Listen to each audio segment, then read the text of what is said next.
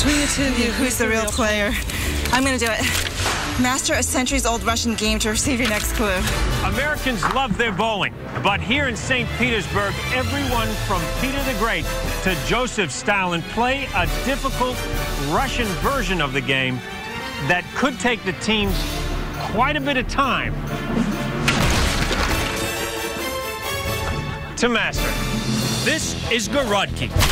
Using a wooden bat, teams have two tries to clear all the pins before they're reset, just like American bowling.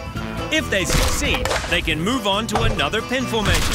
And once they've cleared three different formations, the Gorodki coach will give them their next clue.